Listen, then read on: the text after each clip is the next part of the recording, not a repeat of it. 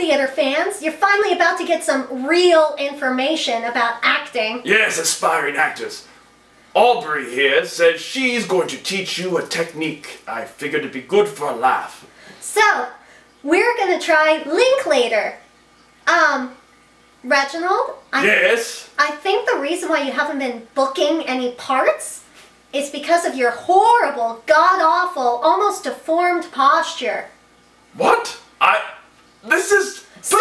What I want you to do is take a deep breath. and another.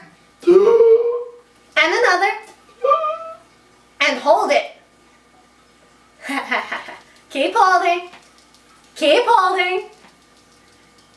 Keep holding. Yay! My exercise worked! He won't talk for like an hour.